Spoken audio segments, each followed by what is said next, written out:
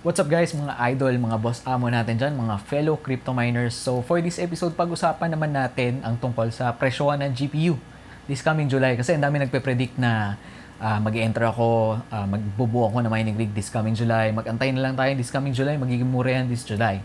And as much as I would like to, and actually ready rin ako kung talaga magkakaroon ng crash this coming July, mamimili din ako. Pero realistically, uh, i-share ko lang yung mga tingin kong factors kung bakit hindi magiging mura ang GPU pricing this July kahit na gustong gusto natin mangyari yon.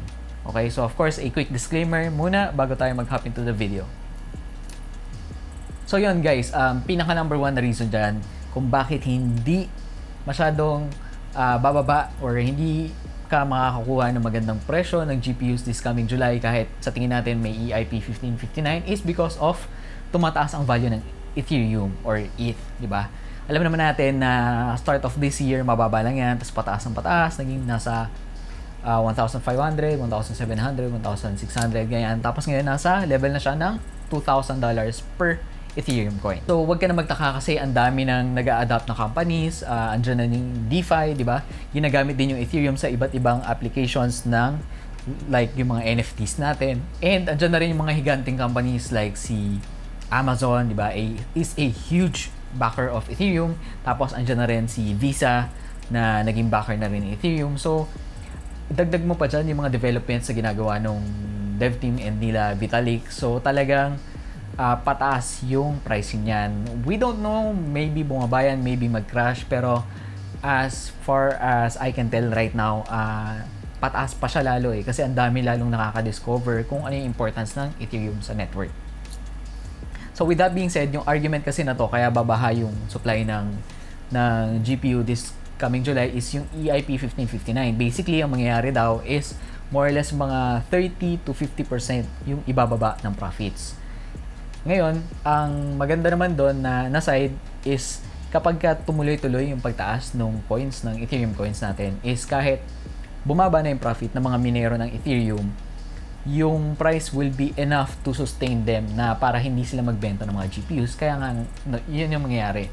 I don't think na enough yung ibababa ng profits para magbenta ng mga mining rig yung mga minero natin.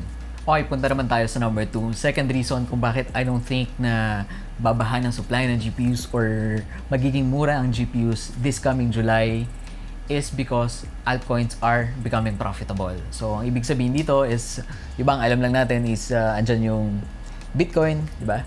Andyan yung Ethereum. Tapos, uh, wala na tayong alam na ibang coins. Usually, pagka beginners like me. So, ang point ko dito is uh, Raven is profitable right now. Conflux is profitable right now.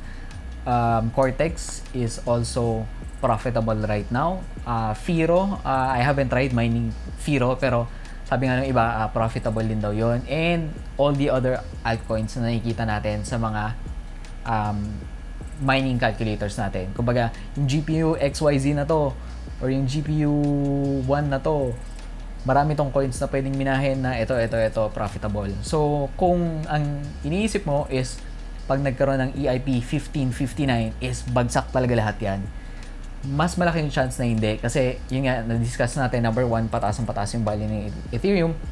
Number two is maraming alternatives sa Ethereum. So for example yung mga GPUs na binili ko recently ito yung 3060 12GB natin di ba? Naka-nerf yan sa Ethereum. Kaya sa Windows na mine ko yan nagagamit ko yan sa Ethereum. Pero yung uh, rig ko na Hive OS with these GPUs nagmamine ako ng Cortex which is around mga based on yung projections right now around mga 5,000 per month per card. So, of course, i-minus mo doon yung kuryente mo around mga 3,500 per card or sabihin natin mga 3,000 per card makaka-ROI ka pa rin within one year which is napaka okay na nun na numbers for veteran miners dito. Yung mga familiar dito, yung mga nagmina na nung sinauna pa, alam nila na pagka less than one year ang uh, balik ng GPU sa'yo sa cost niya is napakaganda nun. So, yun yung punto ko. Maraming ibang coins, yung mga altcoins na pwede mong minahin for your GPUs. Kaya I don't think yung owners of the mining rig will be okay na magbenta ng palugi. Okay, so third reason naman kung bakit uh, sa tingin ko is hindi magmumura ang presyo ng mga GPU this coming July is because yung supply issues natin is still going on. So, alam naman natin, di ba, nangyayari sa mundo ngayon, constrained tayo ng uh, diseases, ng sickness, maraming factories yung naka-shutdown, maraming uh, mga operations, even yung mga essential na metals natin, di ba, for making this silicon, uh, alam naman natin sa ibang industry, even yung car industry natin, nagsasuffer, is because wala nga tayong masyadong production nitong mga electrical components or mga electronics na kailangan natin para gumawa ng maraming stock to meet the demand. So, di ba? Supply and demand lang yan, guys. I don't think mag improve yan drastically. Hopefully, hopefully, mag-improve siya. Pero, um, yun talaga yung wish ko. Kasi, of course, gusto ko rin magdagdag ng GPUs and uh, my business evolves around building rigs for my clients. Pero, um, realistically speaking, I don't think na malaki yung ipagbabago niyan this coming July until the end of the year. I hope I'm wrong. Pero as long as hindi natin ma-defeat itong uh, illness na nangyayari uh, worldwide is I don't think the supply chain will improve. And if ever man malaki pa rin yung backlog natin. So that's the third reason, yung supply issue natin. Supply issue, konting GPU sa market, konti lang yung production, and that will in turn um, jack up the prices pataas. Okay, so reason number 4 natin guys kung bakit uh, mahihirapan tayo or malabong makakita tayo ng mga murang GPU pricing this coming July is because a lot of the new buyers ng GPU, especially yung uh, Nvidia na RTX 3000 series natin, probably sa AMD, mga 570, 580, baka hopefully makakita tayo. Pero for the RTX 3000, yung mga big Navi cards natin, maraming mga tao na binili nila yung uh, yung mga GPUs na yan for a price significantly higher than yung mga SRP nila. So, ipagpalagay mo na lang kunwari, si person A, bumili siya, di ba? For the mining rig. Ngayon, pag dumating yung time na nalugi na siya, or hindi naman nalugi, uh, bumagsak yung profits ng mining rig niya, I don't think na mamomotivate siya para ibenta yung GPU. Kunwari, 30 70, binili niya ng 60,000. I don't think ibebenta niya yan for 30,000 or 40,000 which is tingin ko lang ay mga nag-aabang yun yung price na akala nilang makukuha nila. I don't think willing yung taong bumili ng 60,000 pesos na 3070 for a significant discount na magbenta just because nagkaroon ng uh, pagbaba ng kita. So, as long as profitable yan, as long as hindi sila talo ng kuryente, eh tuloy-tuloy pa rin nilang miminahin yan, 'di ba? Walang reason para ipamigay nila or ibenta nila ng palugi yan. So, yun lang naman yung iniisip ko kasi kung ako yung may-ari ng GPU na yun, ganung price ko siya binenta, ay ganung price ko siya binili, 'di ba? Hindi ko siya ibebenta ng palugi kasi may kita pa naman yung mining ko eh. Di isalpak ko lang sa mining rig, tuloy-tuloy yung nagmimina yan, tuloy-tuloy lang ako makaka-ROI diyan. So, yun yung akin. Hindi ko yan ibebenta ng murang halaga. Dagdag na rin natin dyan quickly is yung, uh, kung familiar ka sa history ng mga pricing, di ba, ng GPUs. Historically, yung Turing na edition ng mga graphics cards natin, yung mga GPU, kahit hindi siya ganun uh, ka-powerful yung jump from the GTX 10 series, 'di ba? Kung kung sinusundan mo talaga yung presyo ng mga GPUs, hindi ganun kalaki improvement from the GTX uh, 1070 Ti's up to the uh, 1660 Super or yung mga 2060 natin, hindi ganun kalaki yung uh, improvement ng jump ng performance. Pero yung pricing, di ba, sobrang taas. Pero naalala mo, kahit nag-announce um, na ng sobrang murang, uh, di ba, sinasabi ni Nvidia, sobrang mura ng mga GPU na to, yung mga dadating, etc. ganyan.